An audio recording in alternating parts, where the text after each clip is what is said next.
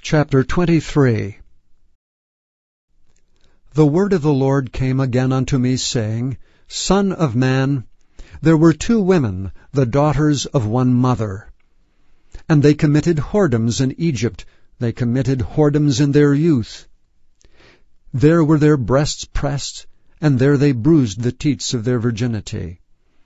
And the names of them were Aholah the elder, and Aholibah her sister. And they were mine, and they bare sons and daughters. Thus were their names, Samaria is Aholah, and Jerusalem Aholibah. And Aholah played the harlot when she was mine, and she doted on her lovers, on the Assyrians her neighbors, which were clothed with blue captains, and rulers all of them desirable young men, horsemen riding upon horses. Thus she committed her whoredoms with them, with all them that were the chosen men of Assyria, with all on whom she doted. And with all their idols she defiled herself. Neither left she her whoredoms brought from Egypt. For in her youth they lay with her, and they bruised the breasts of her virginity, and poured their whoredom upon her. Wherefore I have delivered her into the hand of her lovers, into the hand of the Assyrians upon whom she doted. These discovered her nakedness. They took her sons and her daughters, and slew them with the sword, and she became famous among women, for they had executed judgment upon her. And when her sister Aholibah saw this, she was more corrupt in her inordinate love than she, and in her whoredoms more than her sister in her whoredoms. She doted upon the Assyrians her neighbors, captains and rulers clothed most gorgeously, horsemen riding upon horses, all of them desirable young men. Then I saw that she was defiled, that they took both one way, and that she increased her whoredoms.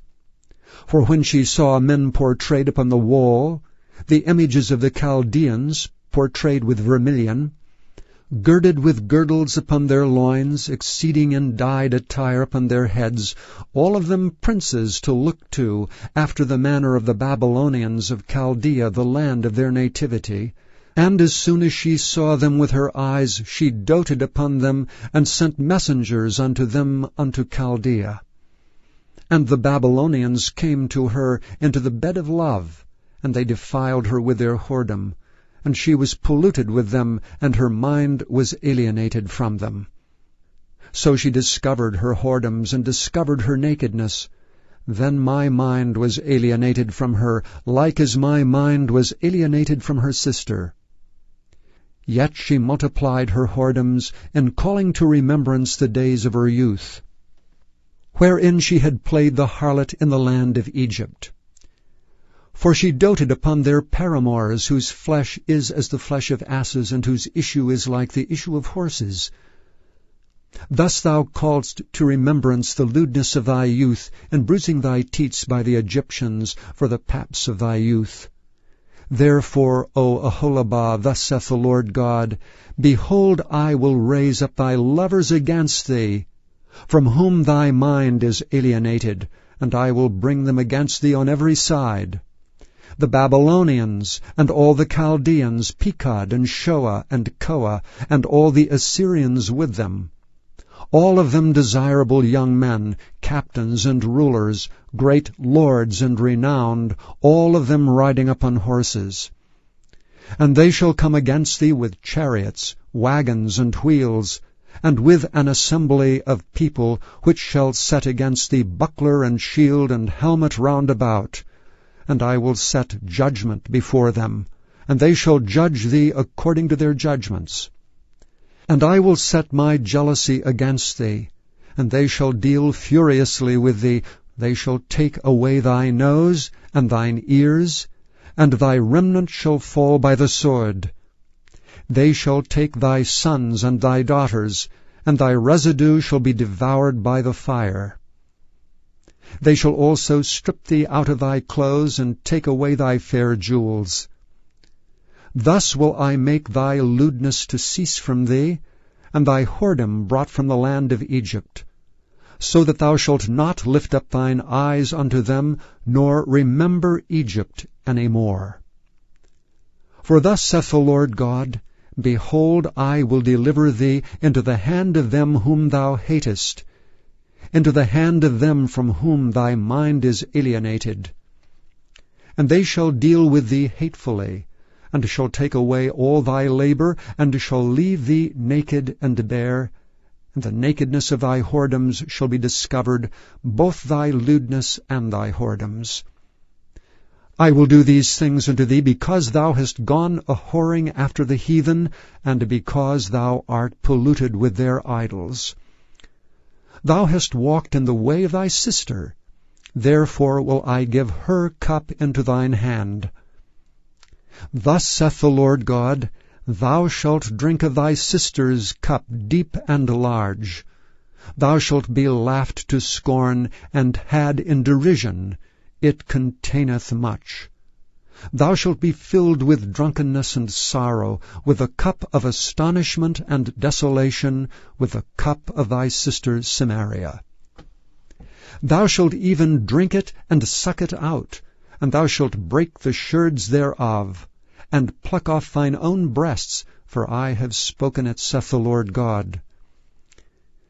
Therefore thus saith the Lord God, because thou hast forgotten me, and cast me behind thy back, therefore bear thou also thy lewdness and thy whoredoms. The Lord said moreover unto me, Son of man, wilt thou judge Aholah and Aholibah? Yea, declare unto them their abominations, that they have committed adultery, and blood is in their hands, and with their idols have they committed adultery, and have also caused their sons, whom they bear unto me, to pass for them through the fire, to devour them. Moreover, this have they done unto me. They have defiled my sanctuary in the same day, and have profaned my Sabbaths. For when they had slain their children to their idols, then they came the same day into my sanctuary to profane it, and lo, thus have they done in the midst of mine house. And furthermore, that ye have sent for men to come from far, unto whom a messenger was sent, and lo, they came, for whom thou didst wash thyself, paintedst thy eyes, and deckest thyself with ornaments, and sattest upon a stately bed, and a table prepared before it, whereupon thou hast set mine incense and mine oil.